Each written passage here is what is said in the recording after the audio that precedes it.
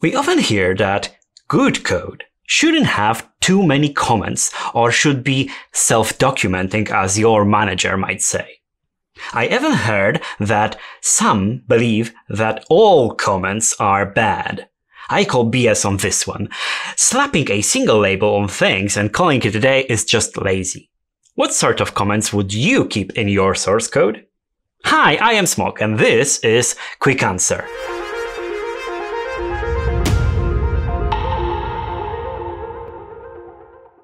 We all heard it. Comments bad, clean code good. But which comments are actually bad? Well, redundant comments that, for example, just repeat function names. Comments that become misleading because somebody forgot to update them, and comments that are mandated, like writing a Javadoc on every function, even on the simplest getter. Also, avoid journal comments that just note what has been done to this file. Use git commit messages for that. But which comments are actually useful. Informative comments that allow you to provide context that is inaccessible otherwise, like for example formatted date or a string that fix a regex. Just glancing at those will tell you exactly what's happening. There are other comments that are useful, but for a reason that doesn't immediately come to mind. Legal reason in order to comply with certain laws, corporate standards, or to provide critical information, these have to be in your code. Accept them as they come. Next, let's take a swing at something that isn't really easy to convey in the code intent.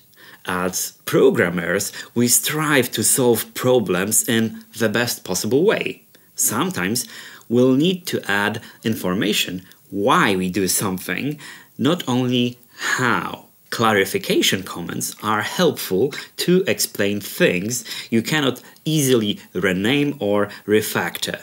These will help, for example, translate names from one domain to another, or just provide a label that is easier on the eyes of coders.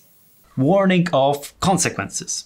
These are a really good thing to know when reading the code you might find that putting information that something isn't thread safe or takes a long time to run is actually very beneficial to your mental health. Believe me, learning those things on your own can really be a massive headache. To do and fix me comments. Some projects use them very heavily. I recommend putting them in your source code.